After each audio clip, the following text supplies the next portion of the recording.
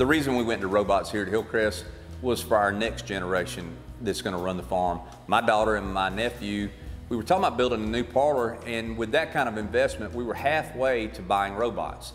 So we decided to build a new facility, put robots in, and it also would be better on them and more challenging than the monotonous milking that we were doing before every eight hours. Now the cows go milk when they want to milk. So it's better on uh, my, my daughter and my nephew. It's better on our staff. It gives them flexibility to go watch their kids play a ball game and then come back and finish their chores because the cows are still milking. So I think it just really makes for a better work environment for the next generation coming on.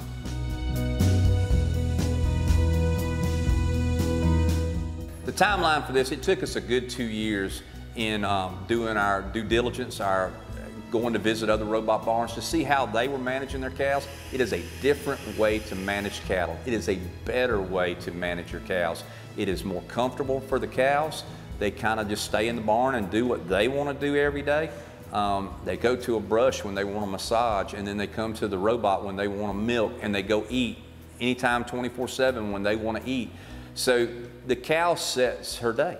And it allows us also to have flexibility as well as the cow. So all this stuff went into the process of learning or how we were going to do this process.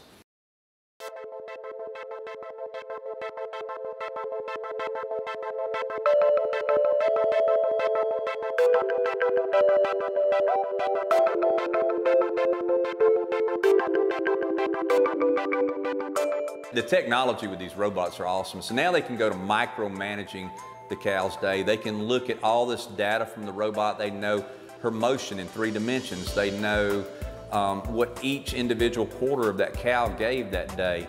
It monitors um, the quality of the milk and it lets us know if there's a problem and it diverts it down the drain.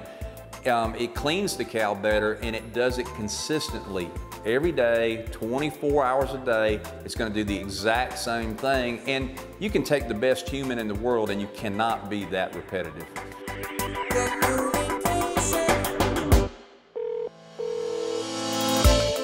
It was a concern would they give less milk when we went to robots. We were the top producing dairy in the state per cow at that time.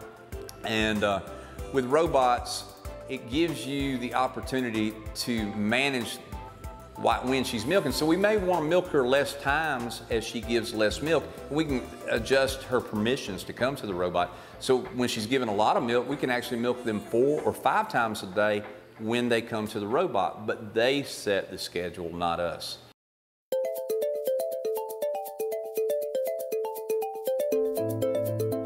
Cows learn faster than people. Um, you know, within about three days, you can see individual cows going, wow, I'm going to run, outrun you and go in this robot and get milk. They just love it. It takes about three weeks for staff to start understanding the process and, and it doesn't take so much outside guidance to keep us going from day to day.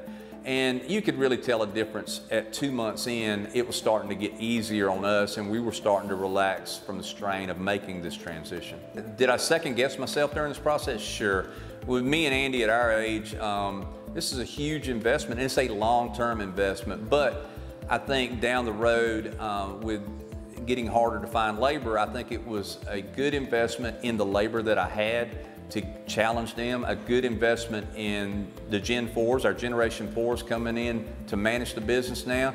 And my goal here is I want to be the guy that does some farm tours and people come in and go, hey, I'd like to see Georgia's first robotic dairy.